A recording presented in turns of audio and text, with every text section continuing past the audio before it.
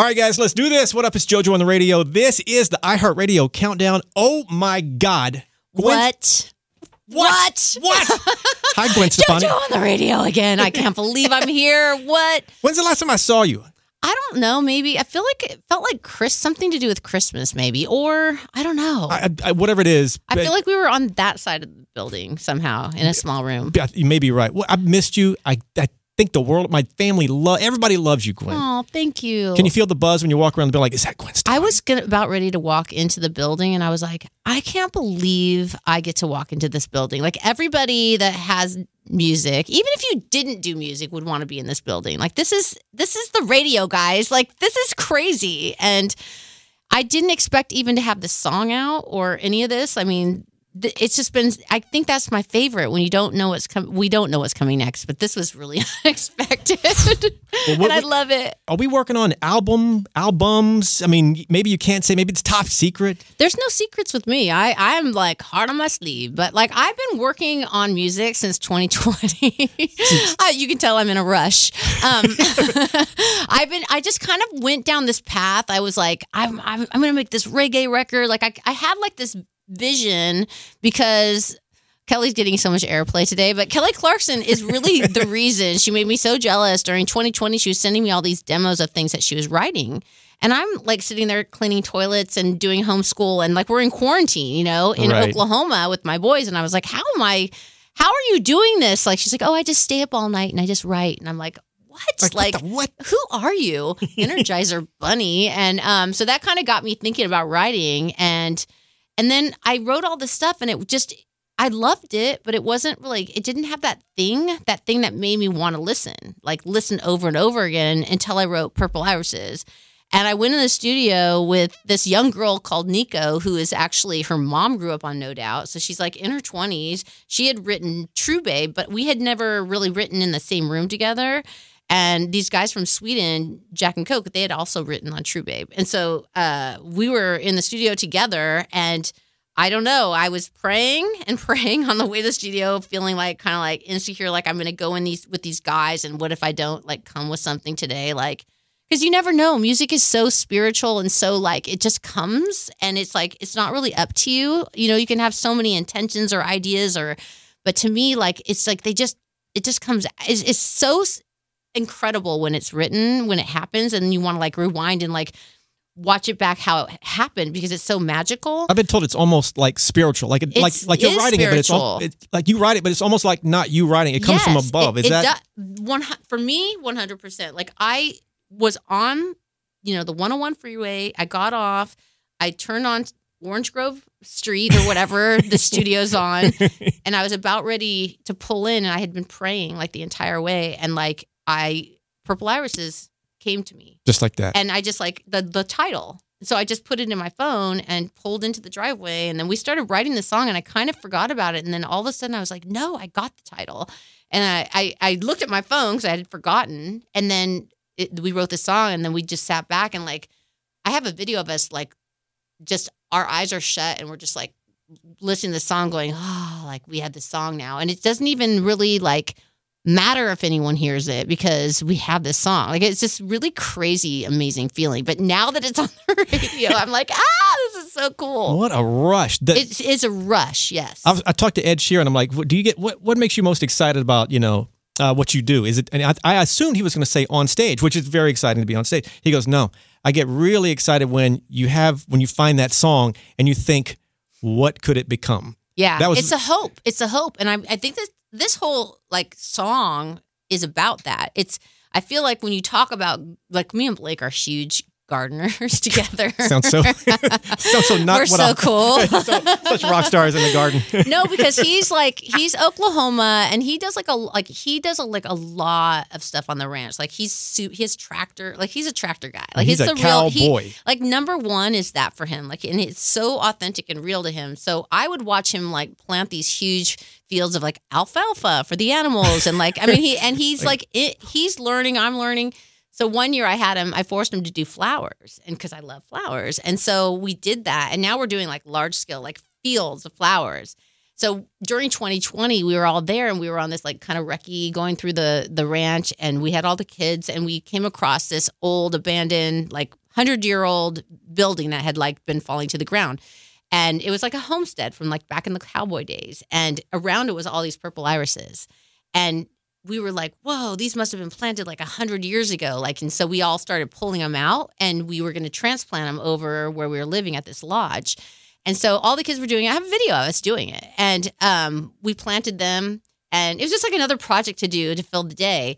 And years later, they're like blooming. And I feel like it's such an unbelievable like metaphor to our love. Like this it's thing like is, if this song was meant to happen. I know, but it was like so it's so true to like um our life and our love and how like of course you have this hope the whole time that you're going to get this bloom, but it's always going to fade. You know what I mean? It's always but it can come back. And like I think that the insecure part of love is like um I don't know, it's always going to have you're always going to have to weather the storm, you know what I mean? And these irises are crazy out there in Oklahoma because they go through so much. It's such crazy weather there and it's like and I just feel like it just was such a great way to represent like love, you know, and hope. And, you know, in the song, it's one of those things where I don't think I really thought of those things through until the song was done and it spoke back to me. and I was like, oh my gosh, this song. And again, it wasn't supposed to be with Blake. I wrote the song about Blake. And then Blake heard it and he loved the song. And then I just like, I got this feeling that maybe he would might want to be part of it, but I would never dare ask him because I'm not gonna be like, you want to my song? Like you Why wouldn't you? because it's weird. It's no, like it's not, is it? I've been on his songs, but like he's like, I don't know, like country guy. like, oh my God. Like, like it would just be like weird. But he he can't. He ended up doing it. I texted him, and like in 20 minutes, he came to the studio and he sang on it. And he, and it's just it was just like one of those things where I can't believe it. I can't believe he's on it. I can't believe that we got it. Like we ended up recording it in Nashville, um, and it all came together in like a really like quick weird thing because this producer called Scott Hendricks It's actually Blake's producer. He's like he's a he's like a master. Like this guy has had like a hundred number one radio hits in country music. Good he's God. he's like one of those guys that like he's like this quirky weird like I don't know, scientist of music. Like I love him so much, but he could never work with me because he was basically working for Warner Brothers and it was just a whole thing. Anyways, four days after he retired, he ended up cutting Purple Irises in Nashville with a live band with amazing musicians, and it was on Iris Street. And it was just a coincidence. It. was just a coincidence. Swear, I swear. And if you You're don't believe me, my brother was there and he was filming, and so I have it on film. On Iris Street? Good God. Isn't this, that this song was meant to happen. Well, a lot of people in Nashville will know there are a lot of studios on Iris Street, but I Oh. had no idea. It's still, Like, still, still. Gwen, uh, we'll play Purple Irises uh, in a couple minutes here. But yeah, I've met Blake. You talk talking about Blake. I've met Blake maybe two or three times, and every time he's just I'm howling laughing. Is he the funniest dude? Just give me a quick, you know, back, give me a Blake story. What is he like? Oh my like? gosh, he is every day, every single day. It's something, and it's always like when you least expect it. Like he'll just come with those one-liners, and you just you're just laughing so hard, and it's like I can remember when we first met each other, and we were both like going through horrible times in our lives, and I remember I was like, okay.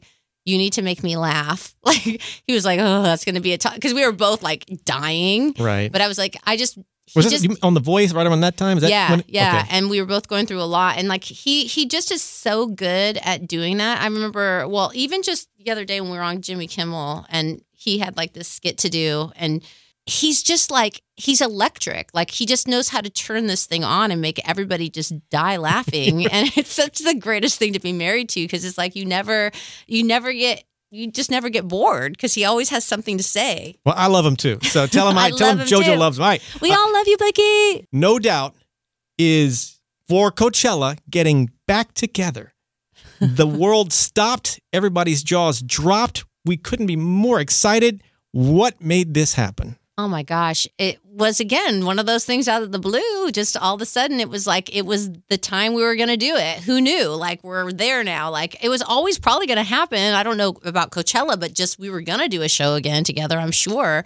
And it was just, it was just, this is the year, you know? And um, I think the most exciting part is just hearing how excited everybody is about it. It's Through getting me roof. so hyped up. I can't wait to slap around everybody. I'm just going to be like, yeah, it's just it reminds me we had such like we were in a band together for like nine years before Just a Girl got on the radio, right? Oh, wow. Okay, gotcha, yeah. Yes. And we like we got so cocky like about our like live show because we were just we were so like um determined not to make it, but just to be great live and like we would just get out there and just be like, Rah! like no matter what, you are gonna have fun. And like I know that when we get up there and it's Coachella and it has that energy of like Oh, you know, yeah. West Coast, like no doubt, like it just it's gonna be it's gonna be incredible. I, am getting so hyped up about it, and now I got to go back and like listen to No Doubt songs and like learn them again Oh my God. because I, I I was told I was talking to your manager, and uh, I was told that um, for you it's going to be like getting back on a on a bike. I think so. I think it's going to be like that because it is kind of like that every time I get on stage. Like, because you have these like pauses and then you're like a mom and like you're doing all your other stuff. And then it's like, okay, now you're expected to just hop on stage and like Don't rock that, do planet. that, do that thing. And, Right. and, and it happens. It really does. And it, a lot of times, like I'll be in a sound check and I'll be like, oh, I'll be like, I can't believe I have to do that. And then I'll get, and I'll be like, oh, here it is again. Like it just, it just happens. You know what I'm saying? And, it's going to be like with that with those guys, but it's going to be even more intense because it's going to be like I'm going to be looking at them on stage going, "How? How is this 2024?" And we're like staring at each other, looking out at Coachella, like, and we are I- again. I, it's going to be so epic. I can't wait. I, well, I speak for I, I. Sometimes I say I can't speak for everyone. I am mm-hmm. speaking for. Everyone. We are all through the roof. Cannot wait. Gwen, I, I was told about a story. Please tell it. It's something about you in the car, speakerphone. Eminem is talking, Oh, and I, I- that's all I really know. I need to hear Okay. this story. Um, well, I got I got a call saying that Eminem wants me to hop on one of his songs, which is could you imagine getting that call? Like the greatest like I'm like such a super fan of him. Like and they said to me that he's gonna be calling you like in the next couple days. And um here I am. I had just bought like this I had my third baby, so I needed to get a car that like they could get in their own car seats because I had the baby and the, all of that. So I bought an Odyssey, which is like those oh, like Gotcha. soccer mom like cars that like the, the door opens Oh, or yeah. whatever. So I'm like, I'm- uh, I, I'm rolling in that, right? and I have the kids all in the car and I'm literally going to soccer practice, like literally taking them like soccer mom. And here comes on the in the car a phone. I answer it. It's like it's, it's Eminem, right? And I'm Right. like, oh my gosh. I was like, hey, just FYI, the kids are in the car. like I don't know what he's gonna say or how he's gonna talk. You know what I mean? And I was like, just it was just such a surreal moment to think like I'm like soccer mom and I'm talking to Eminem, and you know, afterward I was like, I it, I was just so like blown away to be talking to him, but it was just surreal on Mulholland driving like in this Odyssey, like going to soccer. I don't know, it's not that It seems so, it seems so crazy. Like, you know, I see. The, I picture this line of uh, soccer moms because we. I- I'm a dance dad. It's the same, kind of the same thing. yeah. And so all this line of soccer moms, and you're the only one with Eminem calling them. I know. oh my god! It was so cool. Well, Gwen, I have uh, a bit of a mystery I want to throw at you. I don't know if you know anything about this, but I, it's it's I, I've gone down a rabbit hole. I'm trying to figure this out. Years ago, you basically loaned, to my understanding, uh, a, the, your red dress from Tragic Kingdom Yep. to uh, a museum. I think it was maybe the Hard Rock or whatever. To my, according to these stories, that dress eventually went to a museum in uh, Fullerton, I believe. Yep. In 2005, and I know it's an old story. In 2005, this dress was stolen Yep. from the museum. To my understanding, once again, I'll say it again, I don't know for sure. The, these two people had backpacks on. The belief is one was like a lookout, the other one hopped this five foot or so plexiglass wall, took the dress off a mannequin, put it in the backpack. They took off, and the dress, and I have searched, the dress has never been seen again unless you have other information. What do you know about this? I didn't know uh, the last part of the story that they had a back. I didn't know the backpack thing, but I did know that that dress did get stolen. And what's so crazy about that dress is I bought that dress at some mall in some like Contempo Casuals or something. Who knows? Like, and I wore because I wore the dress. I wore it. I think I wore it when we played. Um, like it was like grad night at Disneyland or Oh, wow. something. And then and people at that thing they would be like they were at grad night and we were playing it and people thought we were like a fake no doubt cover band because they were like why would they be playing grad night like and we did it like seven nights in a row or something and like at disneyland it was so cool they had these like weird these I, i'll never forget the little like sandwiches they made for us backstage but um and then i also wore the dress this is before it was on i i can't yeah Tragic was out and i wore it on stage playing with um with Sublime. Oh wow! And it was Okay. when basically I think I went out to play with Sublime and I was wearing that dress and Lou Dog, uh, Bradley's dog came up and like bit me, bit the dress. So then I had to sew like this sequence like heart on the bottom where the hole was. So yeah, so Oh. that dress was like not just only on the cover and it the chances that that I would have worn that on the cover like it was just one of those dresses I just had in the closet. It's same with the Don't Speak dress. I had that polka dot dress for like years and literally showed up to the video. I was like, oh, I think I'm just gonna throw this one on. And Like now they become these famous, it's so iconic. weird, you know, yeah. And like the Don't Speak dress was like, um, I, I even had like the first time I ever had like a stylist there, and I just like pulled that one. I was I'm gonna wear this, you know, and. I bought it on Melrose, like it's some thrift store. It was like some 1930s dress I probably got for like ten dollars, and This is okay. I am on a mission. I, I mean, I'll probably never find it, but I need to. I mean, if anybody knows where this dress Yes, is at, no, exactly. yeah, no questions asked. Right? Just get the dress back to you somehow, or to the museum, or whatever. I'm good. Like whoever really needed that dress, you're. I'm never gonna wear it, so it's fine. But I would love to know. Oh, oh, it, my conspiracy brain's already going. I got to figure this out. Message to your fans. You got the OG, no doubt fans from back in the day that have stuck with you. You've got the new fans, probably some country fans coming in from Blake, you know, and message to all these people who just absolutely adore you. Oh my gosh, you guys, like what? Like this exchange of love we got going on. Like it just never gets old. And honestly, like I feel so inspired by this this invisible group of people that have been loving me. Like I love them so much and they inspire me so much and it's incredible. Like it's it's incredible. Thank you for listening. Thank you for loving.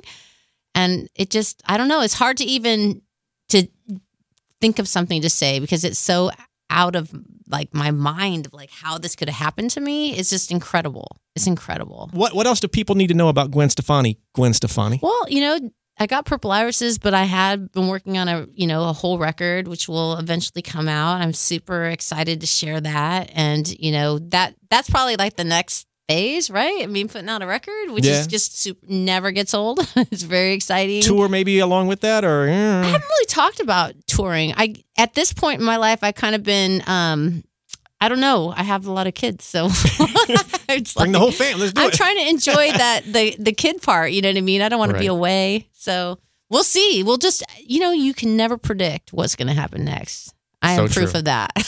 All right, hey Gwen, thank you for hanging out. thank you, thank you. I love you. I love you. At the end of every interview, Gwen, fist bump to make it official. Yes, Give me a little. bring it.